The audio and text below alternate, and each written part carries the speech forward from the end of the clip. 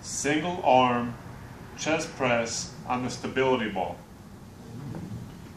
Have a seat on the ball, roll forward till your shoulder blades are on top of the stability ball. Lower your elbow down, keeping your elbow out wide, pressing straight up.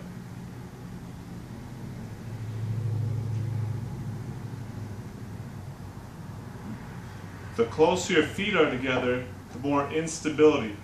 It'll make your core work more. If you want more stability, bring your feet out.